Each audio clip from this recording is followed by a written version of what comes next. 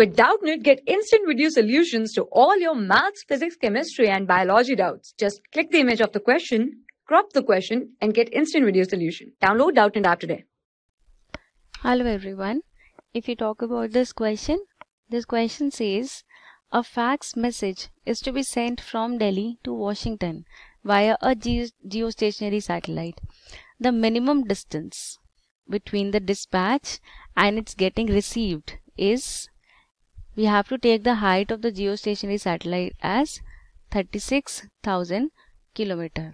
Now, if the height of the geostationary satellite is, uh, satellite is 36,000 kilometer, that is uh, h is equal to h of the satellite is 36,000 kilometers. Now it is very simple to calculate the minimum distance. Why? Because minimum distance is s is twice of this height.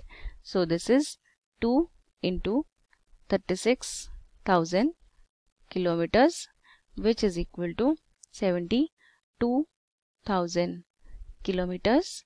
Also we can write it as 70t into 10 to the power 3 kilometers. So our correct option here is option 1. Yes. For class 6 to 12, IIT JEE and NEET level. Trusted by more than 5 crore students. Download Doubtnut app today.